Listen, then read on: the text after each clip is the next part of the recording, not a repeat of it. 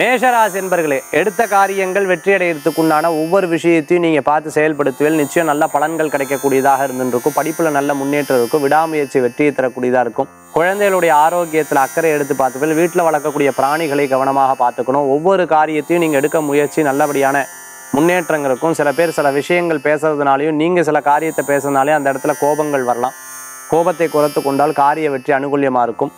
அதாவது சில சில விஷயங்கள்லாம் பார்த்துட்டுலாம் மற்றவாட்ட சொல்கிறத அறவே தவிர்த்துக்கிறது நல்லது.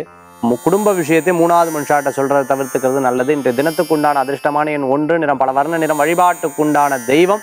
சிவ வழிபாடு மகத்துவமான வழிபாடு மேஷராசி அன்பர்களே.